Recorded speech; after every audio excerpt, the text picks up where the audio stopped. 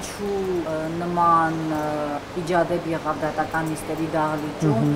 եւ ինչ եք պատրաստվում անել։ Նիստերի դահլիճում տեղի ունեցավ այն բանից հետո, երբ որ մենք միջնորդություններ էինք ներկայացրել Նիկոլ Փաշինյանին դատարան հրավիրելու եւ մի շարք անձանց ցուսմունքները անթույլատրելի ճանաչելու, ինչպես միշտ մեղադրողը նորից լավ աղավաղված ներկայացրեց, սրանից Արարատ Խանդոյանը վշտովեց եւ նախագահ օգտատավորը նիստերի տալիջից հեռացրեց։ Սանկցիա կիրառեց։ Այս դատարանը փոխանա, փոխանա ես քրական գործը, փոխ միշտ հայտարարական հայտարարություն եմ անում, հայտարարություն դատական սանկցիա հրավեր փանդրան։ Ինչ հայտարարություն քանի դատարան դաշնություն չեն դարձել դիմայի կատարածեք դատարանի որոշումը։ Հայտարարություն եմ անում, ուրեմն փոխանա այս դատավորը լինելով Ոչխար չկպրեք։ Հենց դիքաշի։ Փոխանա այս դատավորը այս գործը վեգանի ու միանը դատախազության սանկյատը միանը տանգելը այդներ դիքաշ դերը Հորենյա Ես լուսիկա Մինչև մայլարությունը չանեն դուրս գա Այս շինցու քրեական գործում ոնդ է երևում է պարզ որոշ որ ոստիկանությունը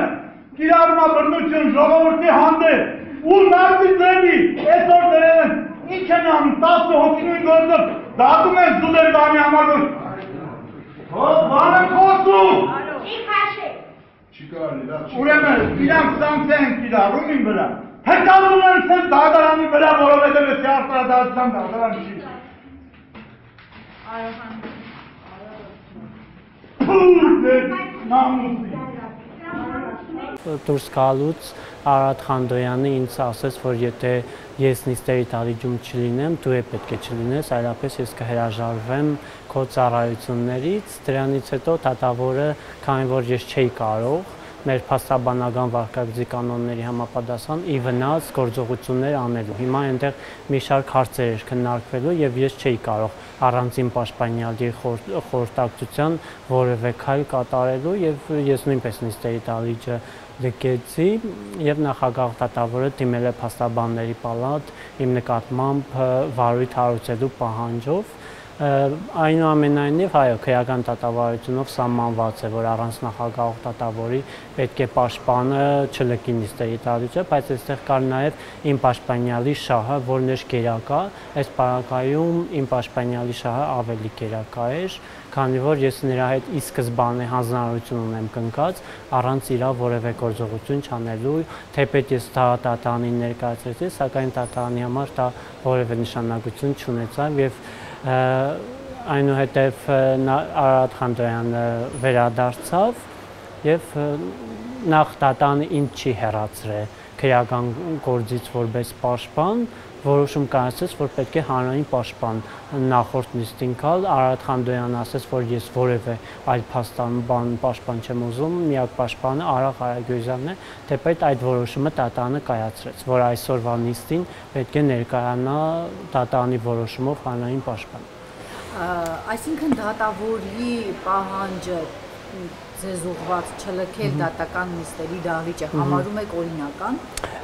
ոչ, օրինական ես չեմ կարող համարել դատանի պահանջը, քանի որ ես դատանին ներկայացրեցի այն հանձնարարությունը, որ որով Արարատ Խանդոյանը ինձ հանձնարարություն է տվել, երբ որ ես իր պաշտպանությունն եմ ստանձնել, որ առանց նրա որևէ գործողություն ես կատարելու իրավունք չունեմ։ Այս դեպքում նախագահ դատավորը ինձ հարցեր էր տալիս, որ մինչև իմ պաշտպանյալի հետ չքննարկե, ես չէի կարող այդ հարցերին պատասխանել։ Ես պարզապես ֆիզիկական ներկայությունը արդեն իսկ անիմաստ էի գտնում, որ ես այնտեղ ներկա գտնվեի։ Քանի որ օրենքը ասում է, որ դատավորի օրինական պահանջին չընթարկվելու դեպքում փաստաբանի նկատմամբ դատավորը կարող է դիմել փաստաբանական պալատան կարգապահական դուրժի ենթարկելու համար այս դեպքում դատավորի այս դիմումը ինչպես է մեկնաբանում։ Մեկնաբանում եմ, քանի որ ես բարբերաբար հայտարարում էի, որ նախագահ դատավորը նա կատարում է քաղաքական պատվեր եւ ինչպես գիտեք Հայաստանում ինչքան քաղբանդարգյաններ կան նրա որոշման հիման վրա է մնացական Մարտիրոսյան վրա է նրա համար դա շատ լավ առիթ էր որ ինձ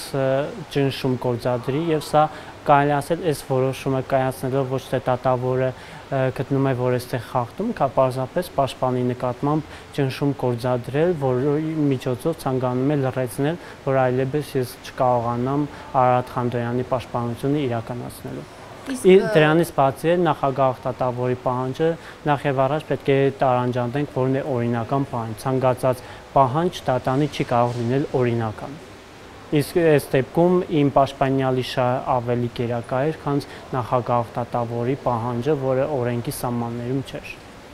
Բացի դա, արդյոք դատավորը օրենքով ունի նման լիազորություն ամբաստանյալի փոխարեն որոշելու, թե ով կպաշտպանի նրա շահերը դատարանում։ Իհարկե նման լիազորություններ չունի։ Արարատ Խանդոյանը նախ դատավորը ինձ քեական վարույթից չի հեռացրել, Դրանից բացի միայն նման իրավունք դատավորը նման իրավունք դատավորը չունի միայն նման իրավունք դատարանը իրավունք ունի այն դեպքում, երբ որ պաշտպանին հերացնում է նիստերի,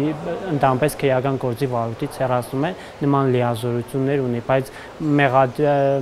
այսինքն այս դեպքում Արարատ Խանդոյանի փոխարեն որոշել թե նրա պաշտպանը ով պետք է լինի, սա կամայական է եւ անօրինական, սակայն դատարանը հասկանալով, որ ինքը թույլ է տալիս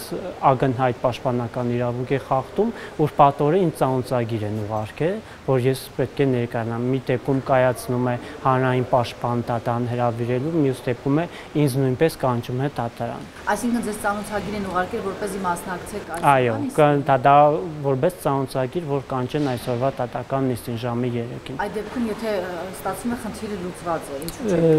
Չեմ կարծում, որ խնդիրը լուծված է, քանի որ պաշտպանական կողմի համար նման տեղեկություն չկա, որ հանրային պաշտպան չի գալու, քանի որ տատանը որոշում ունի կայացրած հանրային պաշտպան կանչելու։ Դրանից բացի ես այսօր նույն խորենացի գործերով վերակնիշ տատանում տատական նիստ ունեմ, նույն ժամին եւ չեմ կարող արդենից նախապես նշանակված տատական նիստը հետաձգել վերակնիշ տատանը։ Այսինքն երկու տարբեր որոշումներ կան։ Մի դեպքում հանրային պաշտպաններ գրավելու, մի դեպքում ինձ տատական նիստի մասին տեղեկացնելու այսօր կտեսնենք թե ինչ տեղի կունենա։